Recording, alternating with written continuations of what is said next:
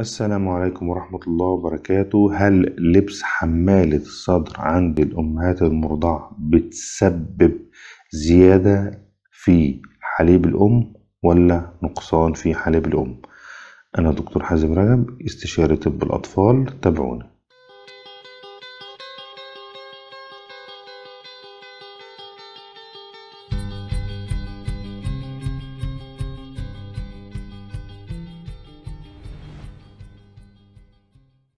لبس حمالة الصدر.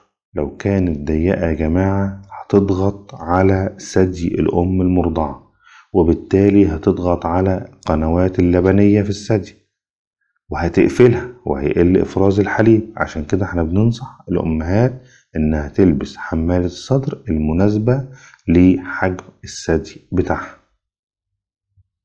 طيب بمناسبة بقى إن حمال الصدر الضيقة بتقلل إفراز اللبن إزاي أزود إفراز الحليب عند الأم المرضعة أول حاجة خليني أقول لكم إن الحالة النفسية والبدنية والعقلية للأم أثناء الرضاعة ممكن تؤثر على الطفل بتاعها.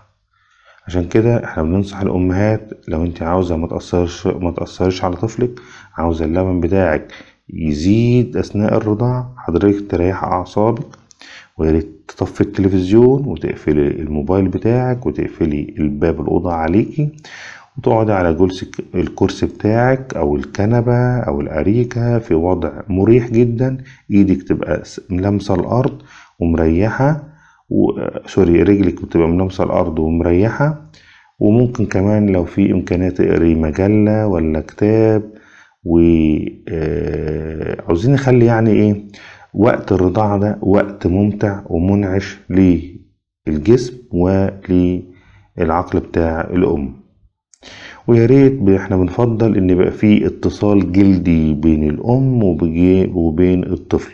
ده هيزود ترابط الأم مع طفلها كمان بيزود مناعة الطفل كمان هيزود إضرار الحليب عندها.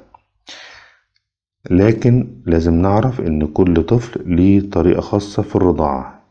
يعني في أطفال هترضع برضو دقيقتين وخلاص وفي أطفال هترضع تلت ساعة. الطريقتين قلنا قبل كده إنها بتبقى صح مادام الطفل في كل زيارة عند الطبيب بيزيد في الوزن. يبقى إحنا قلنا لكم دلوقتي إن الحمالة لازم يكون حجمها مناسب عشان ما تأثرش على إفراز اللبن. وقلنا لكم الطرق اللي بتزود افراز اللبن والطرق اللي ما تأثرش على عصبية ومزاج الطفل. يا ريت لو عجبك الفيديو ما تنساش تعمل شير شكرا.